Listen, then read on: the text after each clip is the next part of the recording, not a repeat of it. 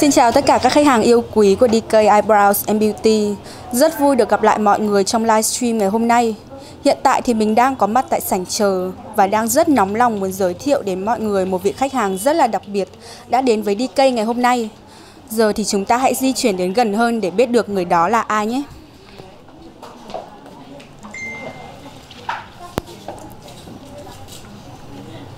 Em chào chị ạ. Vâng, đây chính là chị Trương Thu Hà, một diễn viên quen thuộc với các khán giả qua các vai diễn ở những bộ phim truyền hình hay các vai diễn trong nhà hát kịch Việt Nam. Và chị ơi thì không biết là hôm nay chị qua DK thì mong muốn trải nghiệm dịch vụ gì ạ? Mình à, đang muốn à, làm lại cái à, lông mày vì là bình thường thì lông mày của mình nó cứ bị cụt đuôi ấy, hàng ngày đi làm đi diễn thì mình cứ phải vẽ nên thành ra là hơi bất tiện ừ, hơi bất tiện ờ, thì là nhiều khi là bây giờ muốn là uh, làm cái gì cho mình tự nhiên nhất mà người ta nhìn thì người ta tưởng như kiểu lông mày thật của mình thôi. Thế, thì rất là tin tưởng uh, ở tại cây thì mình hôm nay muốn lên để trải nghiệm. Thì hiện tại bọn em đang có công nghệ hair chop mới nhất. Đấy thì sẽ là đáp ứng được tất cả các nhu cầu của chị. Đấy là bọn em sẽ làm cho chị nó hài hòa tự nhiên nhất. Em cũng vừa kiểm tra qua tình trạng lông mày của mình đang hơi bị cụt phần đuôi á.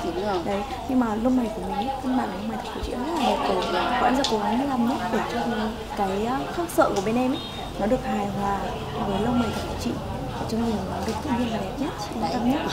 Mong muốn của mình cũng chỉ có vậy thôi. Rất là muốn là à, gửi gắm cái lông mày của mình đến à, tay các chuyên gia ở tại DK để làm sao mà cái lông mày của mình trông vừa đẹp vừa tự nhiên.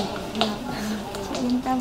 À, bọn em sẽ làm ra trẻ trung và để chị có thể uh, những cái lúc quay chụp ấy mình tiện mình không cần phải mất thời gian để make up trang điểm nhiều. Đấy, đúng rồi nhiều khi đi show mà vội quá ấy, thì thì ờ, mình vẽ nó nó không được nét và nó không được đẹp mệt ngoạc ấy. Và sau mình làm việc nó còn hay bị đúng rồi, trôi đúng rồi, đúng rồi. cứ mà quay những cái cảnh mưa gió cái là nước, nước nó trôi hết rồi lại phải dừng máy để người ta mất thời gian, lại đúng đúng, rồi đấy Dạ vâng, sau khi trải nghiệm dịch vụ tại DK thì cặp mày của chị Hà sẽ được cải thiện ra sao và quá trình thực hiện diễn ra như thế nào thì chúng tôi sẽ cập nhật ngay trên fanpage.